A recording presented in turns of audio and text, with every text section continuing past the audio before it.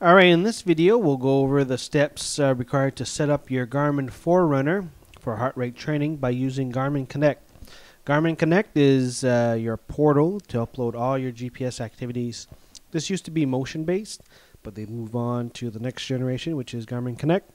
As you can see, there's a lot of uh, different workouts on my dashboard. Some are using the Forerunner, and there's some other workouts that I've used uh, another Garmin product. So you can use any type of Garmin product to upload the, your track files. But in this video, we'll just focus on heart rate training. So first thing we need to do is get to the settings.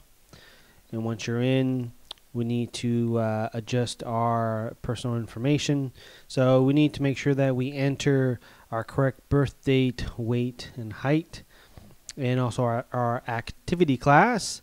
And what is activity class? Well, then this is a little class chart here. So if you're moderately active, you're somewhere between 4 and 7.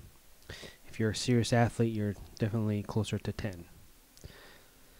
And once you get that all set up, you just simply need to go down to the training zones tab and you can just set up your heart rate zones.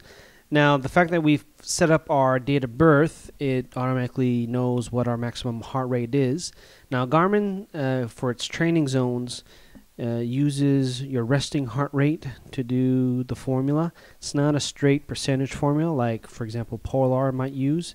For this, you gotta use the um, other type of formula that uses the resting heart rate. You can do this on paper, or you can just let Garmin do this. I've kind of done it both. Uh, just wanted to make sure that Garmin was setting up uh, the percentages right, and they are.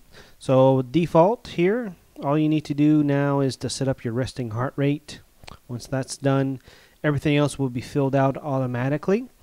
And for the most part, you'll probably be working in zone 3 and zone 4, which is from 69 to 79%, and zone 4, which is 80 to 87%. Uh, once that is done, you just click on save. And now that next time that you uh, connect your Garmin device to your laptop, and when it when it does the sync, it will download this information down to your Garmin Forerunner.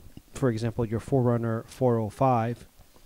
And next time you're out ready for a workout, you have an advanced workout that has heart rate training zone set up. It will use these numbers to calculate it.